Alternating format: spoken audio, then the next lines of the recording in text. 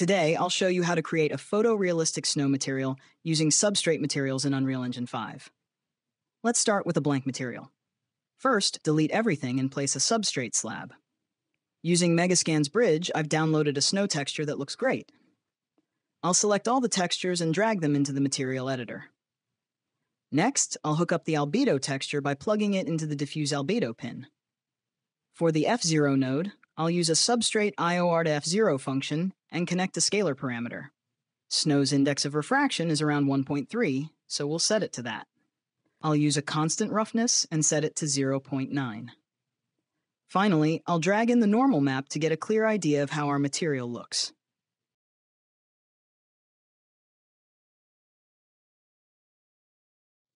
I prefer using the map preview mesh that comes with the engine to preview my materials, so I'll add it to the scene and apply my material. It doesn't look like snow yet. It resembles stucco or plaster. We're missing key lighting features that make snow look realistic. Fresh snow scatters light before it's fully absorbed, a property we can model using the SSS mean free path pin. I'll use a vector parameter for this pin and a scalar parameter for the mean free path scale, allowing adjustments. The parameter color represents the color light shifts to as it passes through the snow. I've chosen a light blue, reminiscent of snow, though it's been a while since I've seen any here in Texas. Notice how it softens the normal map, giving a softer look. Snow is essentially water crystals, which have microfacets that sparkle. Substrate models this with glints. I'll set a glint density of 1.0, and for glint UVs, I'll use a regular UV node multiplied by 5 to achieve the desired glint scale. After compiling, you should have a convincing snow material. Moving the sunlight highlights the specular glinting.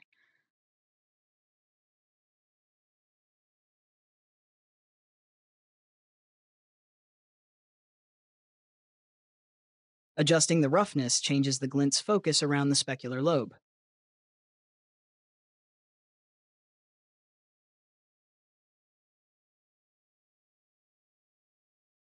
To elevate this further, I'll use nanite displacement. Testing on a basic editor plane, ensure nanite is enabled for your mesh. Modify your project's console variables.ini file to allow nanite displacement, as it's an experimental feature.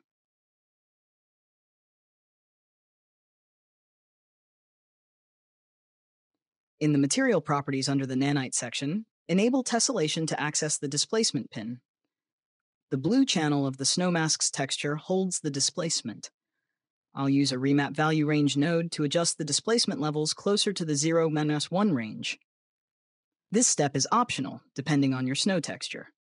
Multiply the result by a master displacement amount parameter, and pass it into a named reroute node called displacement. Then plug it into the displacement pin. I'll set up a simple expression to scale the normal map intensity according to my displacement parameter. I used a value of 4 matching the nanite setting's magnitude. This example may not be entirely accurate, but serves its purpose. After the shader compiles, fine-tune the remap parameters based on your displacement map.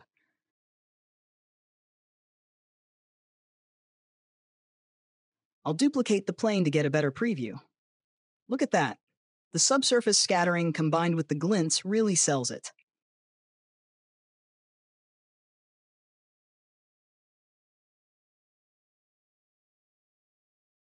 Let's check it out in a darker environment with point lights.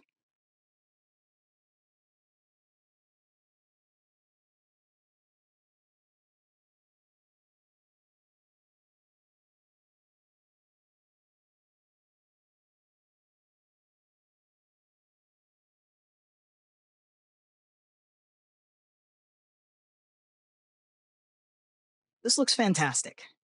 Epic is doing an excellent job with these new material features. I can't wait for them to be production ready. Let me know in the comments what other types of materials you'd like to see. Thanks for watching.